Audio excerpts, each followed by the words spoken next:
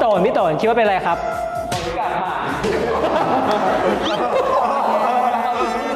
เคียงใกล้เคียงเขาไม่ค่อยเข้าใจศิลปะ จิตวิญญาณของศิลปินอาร์ติจากที่ผมมีคอร์สลายเส้นนะครับนะการที่คุณเลือกปากกาของ iPad ตัวนี้เป็นแบบปากกาเส้นเล็ก ๆ ไม่เลือกเส้นหนามากพอสมควร ผมเลือกลายเส้นนี้มันต้องเป็นเอ่อถ้าไม่อยากจะพลาดกับบทสัมภาษณ์สุดเอ็กซ์คลูซีฟจากพวกเรา ไลค์กด Subscribe ทางช่อง T H L กดกันเยอะๆนะครับ อย่าลืมกดกระดิ่งด้วยนะ